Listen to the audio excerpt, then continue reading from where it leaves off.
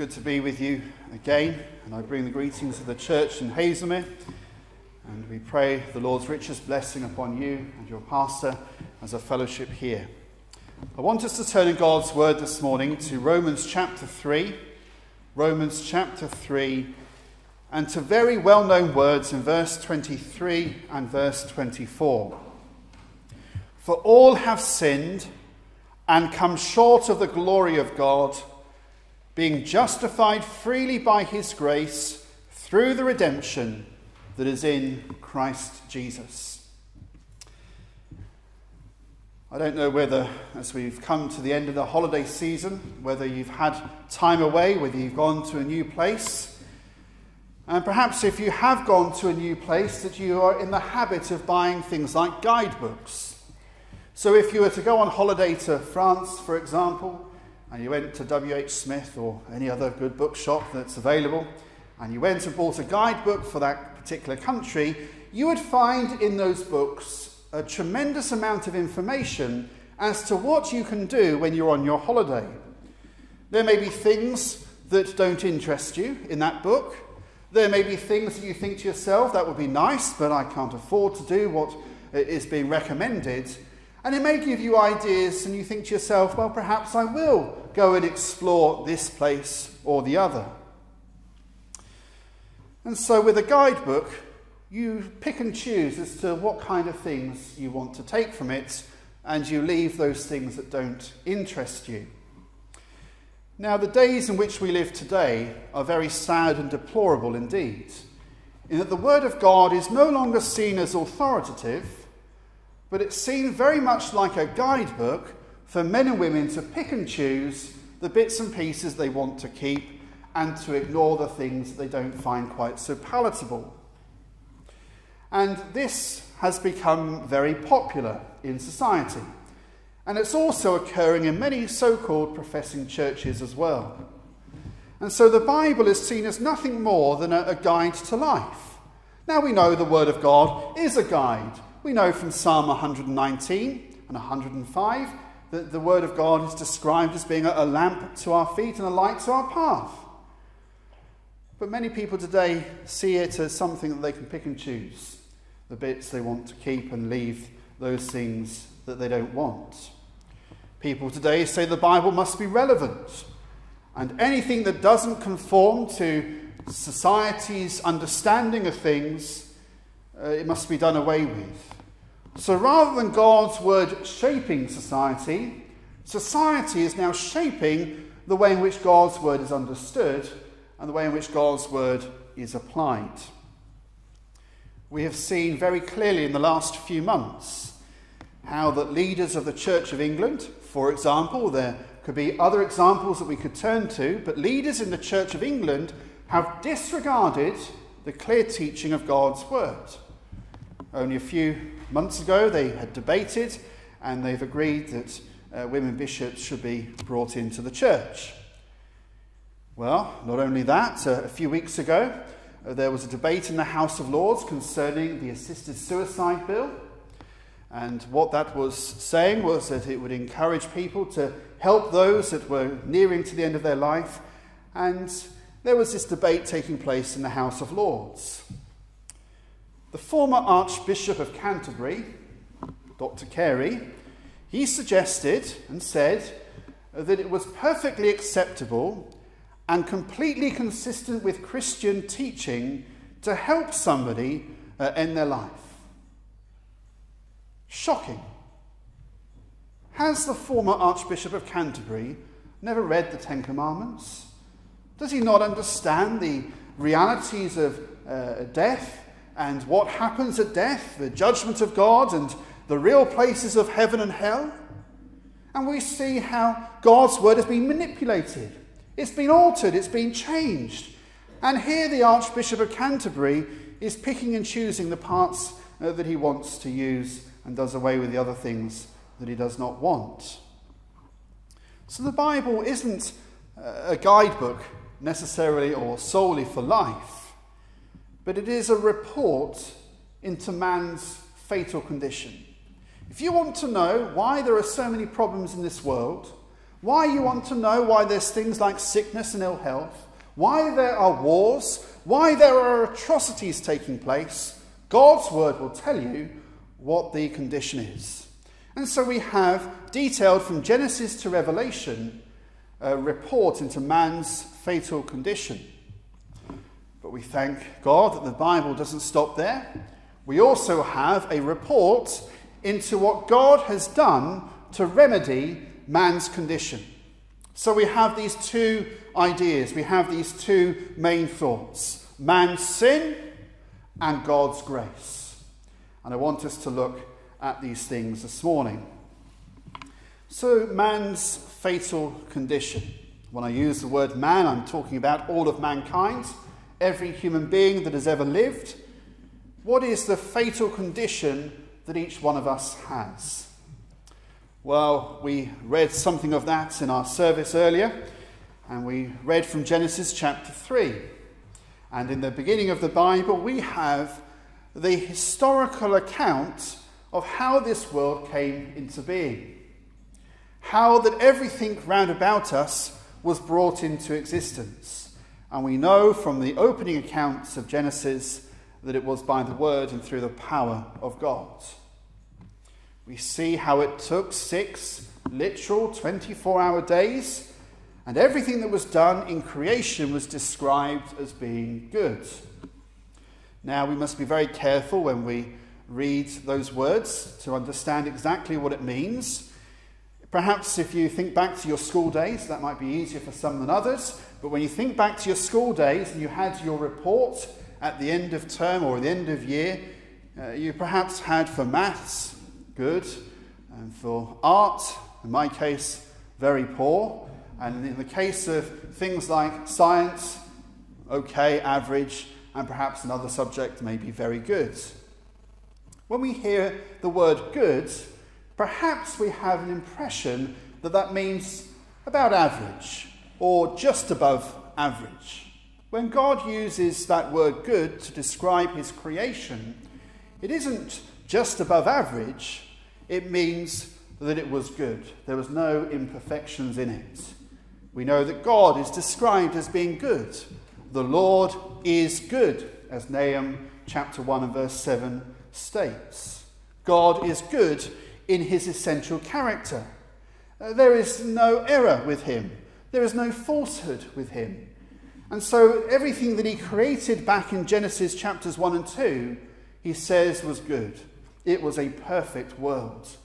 There was no corruption, no decay, no genetic mutations. There was nothing that could be said uh, that was said to be uh, not quite perfect. We know how God created Adam and Eve, and these righteous people were placed into a perfect world. And as we read from Genesis 3, we know what happened. God had commanded Adam not to eat from the tree of the knowledge of good and evil. And we know that the, the, the serpent, the devil, uh, craftily and, and manipulatively persuaded Eve to take from that fruit. She gave to her husband, and he disobeyed God's command. And as a result of that, sin entered the world. No longer could the world be described as being good because it was now tainted. It now had imperfections. Sin was present.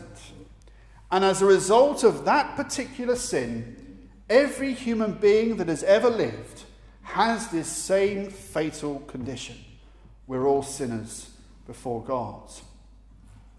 Sin is in the nature of every human being, and they are sinners by practice as well. And we could clearly see sin in the world. We just need to listen to news reports, and you will see terrible atrocities taking place. A few weeks ago, the aircraft that was shot down in the Ukraine, the atrocities taking place in Syria. Only yesterday, or during the early hours of the today, uh, news has come of that uh, ISIS group in northern Iraq that have put to death that hostage. And we could go on and, and think about these kind of things. We see sin everywhere. We see corruption of governments, organizations. We see institutions that reports are coming out of terrible wickedness that has taken place for decades. We see sin everywhere. We hear about it, we see it, and we experience it. Now, the problem that we have is that we're very quick to see it in others, we're very quick to see the effects in nations, but we seldom see it in ourselves. If I was to go into Chichester this morning or to any town of our, our country today and tell people that they are sinners before God, I'd have responses very similar from each one. Some might be emphasised uh, with a, a, a trip to A&E because I've broken my nose, but generally people wouldn't want to hear. They don't like to hear that they are sinners. But this is what God's word clearly reports. This is what God's word clearly states in our text in Romans 3, verse 23 For all have sinned and come short of the glory of God. This is mankind's universal problem. He is a sinner. He has fallen short of the perfect standard of God's glory. He has missed the mark. He has not attained to what he ought to have attained to. And so we see that all mankind have sinned. You may be thinking to yourself, well, I'm a good person. I live a good life. I haven't done anything terrible. Well, dear friends, when we read verse 23, there's no exclusions, there's no disclaimers, there's no exceptions, for all have sinned. All of us have sinned, and we've fallen come short of the glory of God. Up until a few weeks ago, in my secular work, I was working down in Brighton, and part of my journey would involve me catching a bus from the outskirts of Brighton into the town centre. There are many times when I um, managed to catch the bus on time, but there were a few occasions, perhaps more than should have taken place, when I got to the bus stop to see the bus pulling away. I had missed the bus. Now, it didn't really matter whether I'd missed the bus by 10 seconds or 10 minutes, as it was on some occasions. Uh, the result was still the same. I had missed that appointment, I'd missed that bus that I'd planned to get. In the same way, but far more seriously, we have all missed the mark that God has set. And it doesn't matter whether we miss it by a little or, in effect, by a lot, we miss the mark. We've fallen short of God's perfect standard. In the third chapter of Romans, Paul is here speaking predominantly to uh, believers who were Jewish by background and heritage. They had in their understanding that they were slightly better than other people. They thought that because of their heritage, the way in which they had the law of God, uh, and they had kept the law of God in their own eyes, that they were somehow advantaged. And they were somehow better than the Jewish, or better than the Gentiles that were around them uh, as well. But Paul makes it very clear that whether they are Jew or Gentile, every one of us has the same problem. We've fallen short of God's perfect standard. And in verses 9 down to verse 19, Paul uses the Old Testament scriptures to show to these Jews how that God has consistently demonstrated how they have sinned. Verse 10, for example, there is none righteous, no, not one. Verse 15, their feet are swift to shed blood, destruction and misery are in their ways. Verse 18, there is no fear of God before their eyes. These are words written to Jewish Christians. These are words written to the Old Testament Jews. And so God is making it very clear that whether Jew or Gentile, all have this same condition. No amount of subsequent law keeping will ever make right a, a, a way in which we've broken God's law. The conclusion is for all have sinned. For all of Paul's hearers, they are sinners. And as we are all human beings here this morning, we all have the same condition as well. We're all sinners before God. As a result of our sin, we don't deserve the blessing of God. We don't deserve the grace of God. We don't deserve the mercy of God. We deserve his wrath. And we know from God's word, the soul that sins, it shall die. God must punish sin. God cannot tolerate sin. God cannot bear sin in his, in his presence. He is described as a consuming fire, and he will bring vengeance upon those that are wicked. God is holy, and nothing unclean can enter in. That is what we deserve. We deserve God's punishment, separated from his goodness, blessing, and mercy, and experiencing his wrath poured out in hell. How does this make you feel? Well, this should lead us to helplessness, to hopelessness. We're sinners before God. We cannot save ourselves. We can't do anything to help our condition. We've all fallen short. There are no amount of good works can get us back to where we ought to be. Or should lead us to feeling helpless and hopeless. Well, that is God's report into man's condition. We're sinners before Him, and we have no hope in ourselves. Well, does Paul spend the next few chapters of Romans and all the other epistles going into how terrible we are and how worm like we are and all these kind of things making us feel worse and worse? No, he doesn't. He tells us what God has done. He reveals to us God's glorious intervention. And so, through God's word, we see how we've broken his commands, we have fallen short of his glory, but it also reveals to us what God has done, what God has intervened with. There's more to this story, there's more to this report. And so we have in verse 24 being justified freely by his grace through the redemption that is in Christ Jesus. So, although sinners are guilty before God, although sinners deserve the wrath of God, yet we see that God justifies. The word justification means uh, to be set innocent, to be counted as not guilty. And so, a crime that we have committed, if we are to be justified, it would be counted as if we had not committed that crime at all. Just imagine you've committed a terrible crime. You've done something wicked, and all the evidence is against you. The judge knows you're guilty, you know you're guilty, your defense know you're guilty, the prosecution definitely know that you're guilty, the jury know you're guilty, uh, everybody in the courtroom knows you're guilty. And as the judge calls you to stand for your verdict to be read out, he tells you, rather than guilty as you suspect and as you know there's going to happen, you're told not guilty let the prisoner go. Well, you'd think the judge had lost his mind.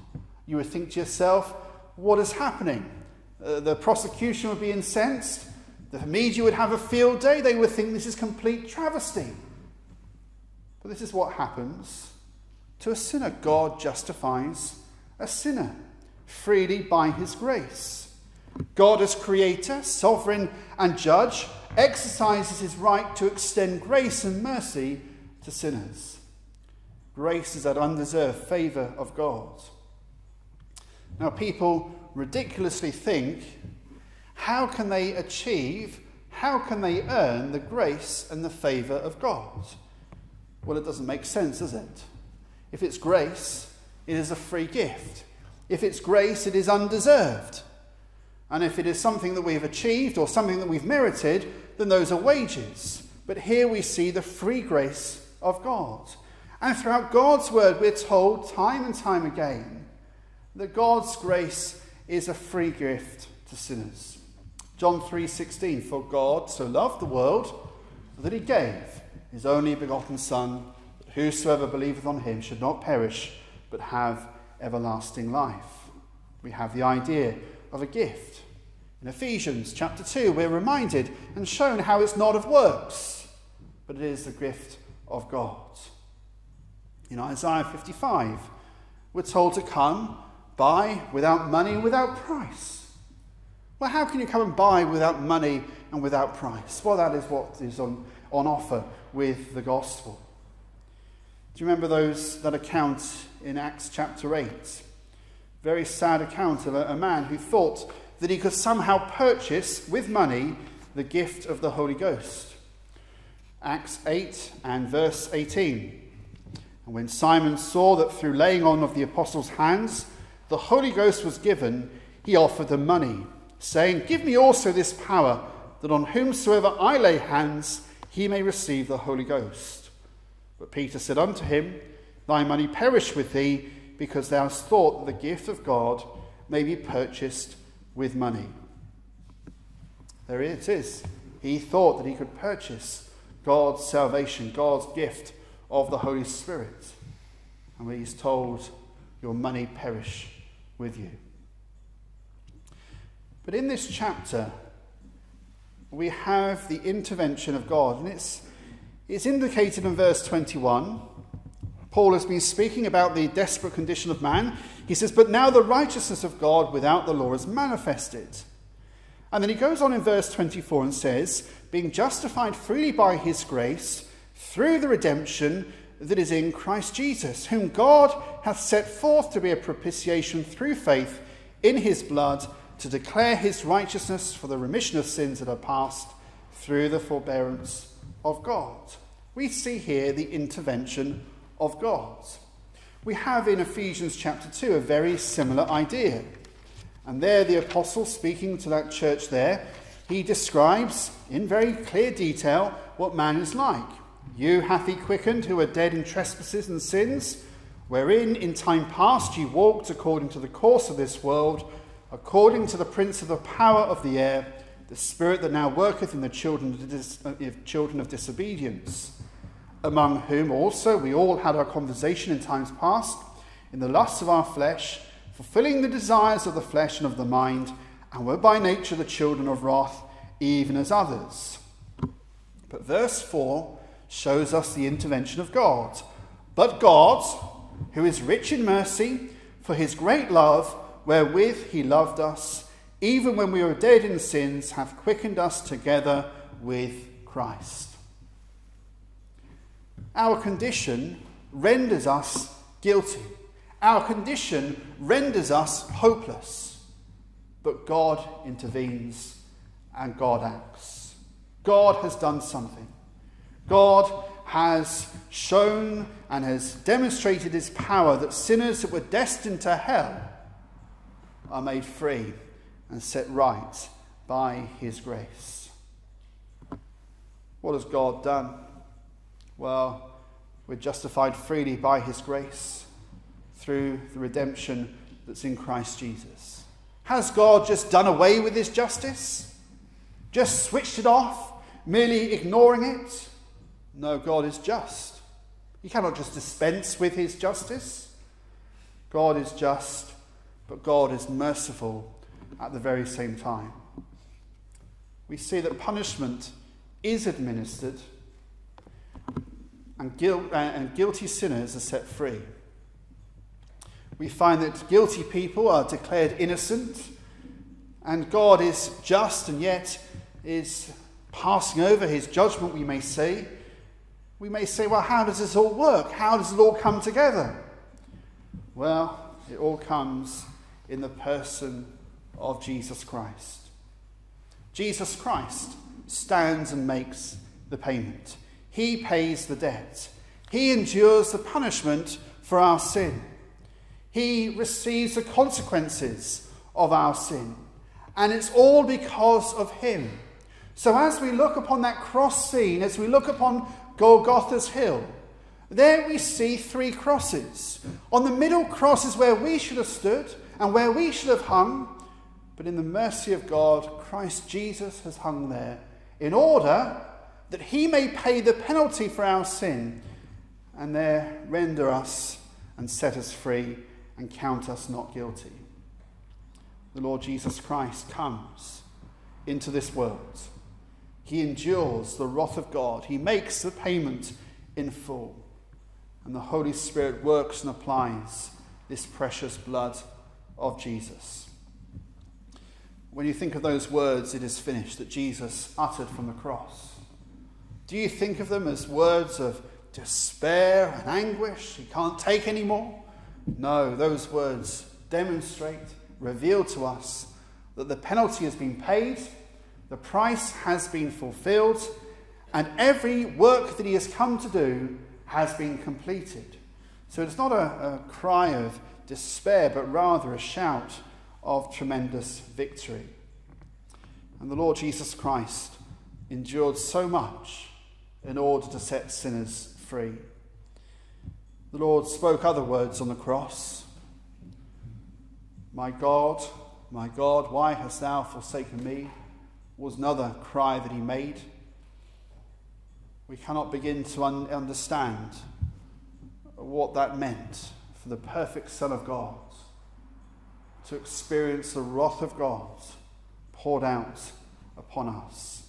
He became our propitiation.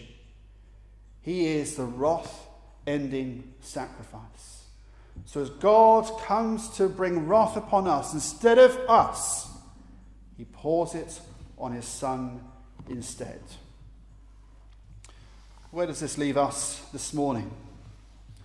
We have the report of our fatal condition. The question comes is it still our fatal condition? Are we still in that state where we are sinners, heading for a lost eternity? If we are without Christ, that is our condition this morning.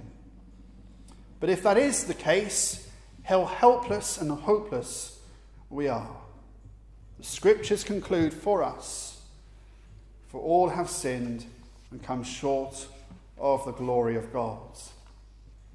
That is where we are unless God has justified us. If we're without Christ, then hell awaits us. You may say, Well, I will try and do better. I'll turn over a new leaf. Well, all the trees of the forest and all the trees of this nation and throughout this world wouldn't have enough leaves for us to turn over in order to make us right with God. No amount of good works can ever undo an act of breaking of God's commands. We cannot be justified or declared not guilty through any work or payment on our behalf. As it was told to Simon, Thy money perish with thee. Or, in other words, thy good works perish with thee. We cannot buy salvation because it is given by God. We're justified freely by his grace. It's only of God's grace that we're saved. It's only because of his intervention. And it's only because of what the Lord Jesus Christ has done on our behalf. And so we must believe on him. That means turning from sin and seeking the mercy of God in the person of Jesus Christ. Oh, just think if we reject so great salvation, how desperate our condition is. You may be a believer here, you have times of unbelief, doubts, and fears creep into your heart. You will hear that whisper, and sometimes it's not a whisper, it's a shout, it's a shriek from Satan that will tell you and remind you of all that you have done. How do you respond? Very often, what we do say, Well, you're right, devil. I have done what you have said. How can I be right with God? Surely his grace cannot save a sinner like me. Surely his mercy cannot stoop to somebody uh, uh like me and what I have done. Well, the right response should be this Yes, you are right, devil. I have done everything that you have said, and many more things beside. I have sinned in thought, word, and deed. I have committed sins of commission and sins of omission. I have done dreadful and terrible things. But my answer to you is this but God.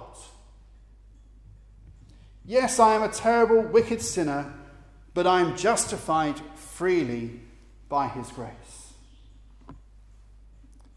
And it's not through any small thing but it's through the redemption that comes through Jesus Christ.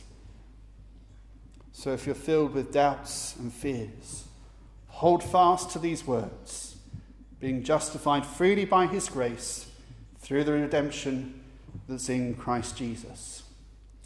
But there may be times when we can forget uh, where we have come from. We can forget how sinful we are by nature. And we can also forget how gracious God is. We can minimize our sin and we can minimize what God has done for us. And we begin to think that we have some kind of perverse uh, uh, merit of God's salvation. We must come back to these words that we've sinned before God, we've fallen short, but we're justified freely by His grace. In our evangelism, in our witness as a church and as individuals, we can sometimes have unrealistic expectations of unconverted folk. We think to ourselves that, well, surely they should behave better. Surely they should do this or do that. Well, spiritually speaking, they're corpses. And you wouldn't expect a corpse to do anything other than to lie in a grave.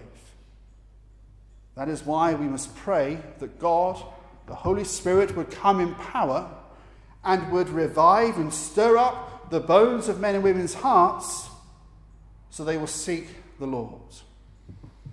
We don't just preach the word, we depend upon the Spirit to come in power as well. And when we think about anybody that is converted, we pray, God, that that would happen. It is not through the cleverness of the preacher, it's not through the persuasions of men and women. It's because of the grace of God using those means.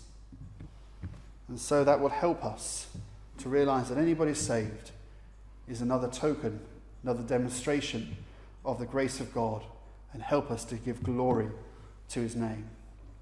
Psalm 13, verses 5 and 6.